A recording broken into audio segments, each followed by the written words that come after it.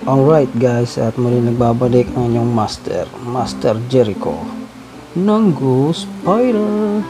Hindi, joke lang. So, itong video na to is ah, ipapakita ko sa inyo kung paano ginagamit ang ang isang ah, weapon dito na tinatawag na musket. Musket, mga, mga kaibigan. Ay, mali mali. Tools pala yun, tools. So dito makikita nyo siya, ayan o, musket. So put natin siya dyan. So paano nga ga- gagamitin tong musket? Ah, try muna natin. Boom, walang bala, load gun powder. So gun powder is makikita lang sa saan nga ba? Items. Hula-hula na lang. No? Ayun, items. Ito ang gun, pa, gun, gun powder mga kaibigan. Ayan. Nakikita nyo. So, ilalagay natin dito. So, ang susunod ng kailangan is ah ang tawag dito yung cotton. Ah, sa ba? Dito yan makikita sa plants. So, scroll down ito. Cotton wad pala yun. Ano paano i-pronounce na? Cotton wad, cotton wad. Basta yun, yung bilog na puti na yan. Then, syempre, kailangan natin yung yung bala ng ng musket. So, tatlo ang bala niya. Ito, yung pinakamalaking bilog na yan. Yung parang bulitas. Tapos yung maraming maliliit. Tapos yung isa. Kahit alin dyan, pwede. Pwede nyo ilagay. So, testingin natin itong malaki. Put natin dyan. Ngayon, paano natin mailoload to sa musket?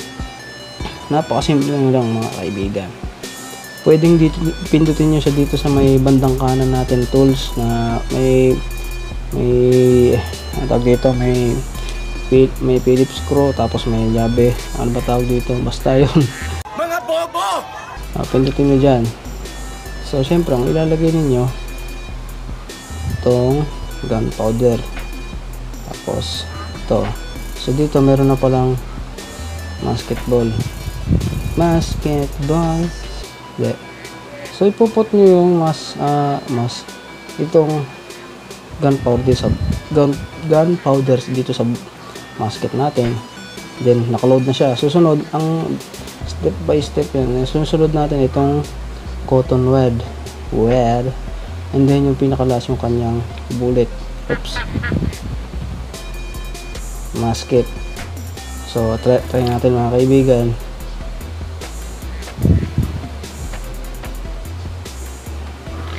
Hanap tayo ng gusto tra, ah, ito ito ito.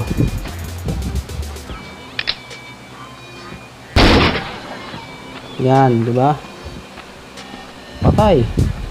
Patay ang hyena. Hyena nga ba? Ah, labas ang laman. So ganun lang siya gamitin. So ito pinaka basic na ituturo ko sa inyo kung paano kung paano natin siya mailoload ng madalian lang sundan nyo lamang ito mga kaibigan. Ay meron pala. Yan items napakasimple lang. So kung ayaw nyo nang pindutin dito sa may pagkakarga ng bala dito sa bandang kanan natin yung kanina tinuro ko kung ayaw nyo nang ganun mas madali ganito na lang. I-click nyo lang ng matagal itong gunpowder ay mali mali. Hindi pala i-click ng matagal. Parang idadrag nyo lang sa papunta sa musket then ito and then pinakauli. Ayan. So ayan nakaload na. O, di ba? Ganun lang kasimple try nga natin yung ibang bala dito. Ito parang bala ng shotgun no? so, gumagabi na. Hindi natin tanghaling tapat. Para whoops! May truck dito. Yan na yun may nakikita akong aso dito. Busit na busit ako sa aso na yun. Nangahabol yun yan yan o yan o kinarga no? Yung babarilin natin. Bang! Patay di ba? Patay nga ba? Yun o try naman natin. Ay nasa tools na nga pala ako. Try naman natin itong pinakamaliit. Then load tayo. Load. Load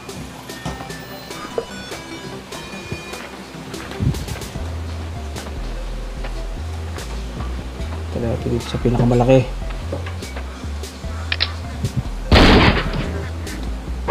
So hindi po siya tinablan hinabol ako.